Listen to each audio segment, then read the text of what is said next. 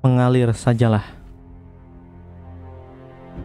Sudah, biarkan hidup mengalir sajalah, let it flow. Kalimat yang selalu saja menjadi tameng diri ketika terjebak dalam kebingungan yang belum menemui ujungnya. Diri ini cukup turut dalam arus ke mana pun ia akan bermuara. Kita mungkin lupa bahwa tak semuanya air yang mengalir itu berakhir di samudra. Ada yang berakhir di selokan, ada yang berakhir menjadi genangan jalanan. Mengalir saja tidaklah cukup. Kita harus terus mengusahakan ke mana kita akan mengalir, ke mana kita akan berakhir.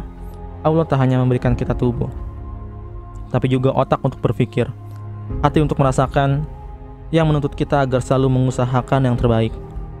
Memang menuruti arus pada beberapa keadaan dan menghemat energi. Tapi dalam beberapa keadaan lainnya, kita harus berat melawannya agar tak bermuara di tempat yang salah, di tempat yang tak seharusnya.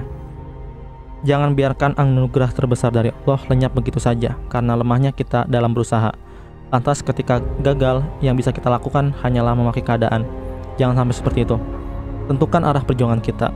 Siapkan bekal untuk melaluinya, berusaha dengan sebaik-baik usaha. Andai hasil kita tak sesuai, maka sesungguhnya tak semua usaha itu harus dibalas di dunia.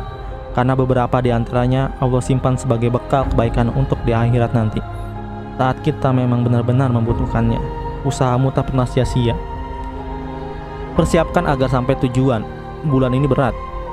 Bulan-bulan selanjutnya bisa jadi jauh lebih berat. Kalau mau terusan konsisten agar terus berjalan dan berkembang hingga berhasil mencapai garis finish, maka tidak ada lain kecuali bersiaplah. Untuk petualangan-petualangan besar kita tidak bisa membawa diri seadanya saja. Nanti bisa hancur lebur sebelum sampai di garis akhir. Kamu tidak mau lagi jatuh tersungkur seperti tahun-tahun menyakitkan dahulu, bukan? Persiapkan dirimu, persiapkan hatimu, hati yang luas, seluas samudra, seluas langit.